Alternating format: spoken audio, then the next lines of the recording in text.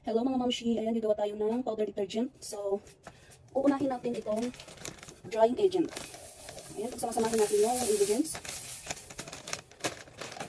Tapos yung foam booster. Ayan, foam booster.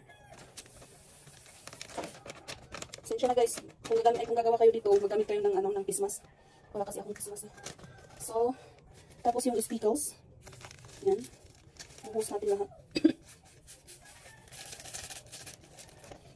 Pagkatapos, itong stain remover naman. Ayan. Pagkatapos, yung surfactant. At ang pinakahuli, itong Ariel Essence. Ayan, Ariel ang gagawin natin. Ayan. Wala kasi akong gloves, kaya gagamit ako ng ano, panghalo. Tapos gagamitan natin siya ng kamay mamaya. Ayan. Madali lang siyang gawa guys. Yung kakamayin ko na lang para mahalo lahat.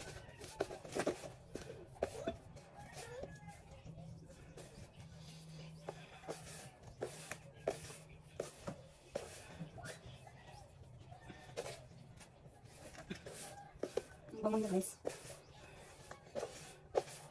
Ayan, may gagamitin tayong panglaba kasi naubusan na kami ng sabon.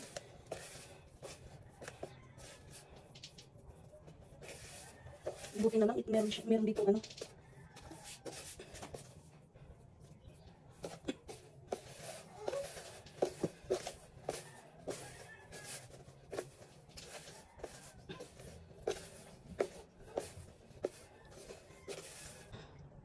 At ayan, dito na guys, susubukan natin siyang ilagay sa tubig kung bubula nga ba.